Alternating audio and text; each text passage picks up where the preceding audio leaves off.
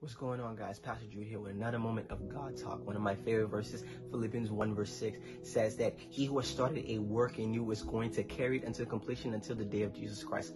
I do not believe God to be a God of unfinished business. He's not going to allow me to be stuck in a season, stuck in a moment, or make a stumbling block come in front of me and make me stop right here and give up. No, God wants me to go to the finished product. He wants me to complete every single thing that I desire to get done. So trust God knowing that He's the author of our lives, knowing that He's the one who is penning every single thing that we do. Trust that there is a final chapter that God wants you to go to. God wants you to finish it also, no matter what it is that you're going through. Don't give up, knowing that God wants you to complete every single good work.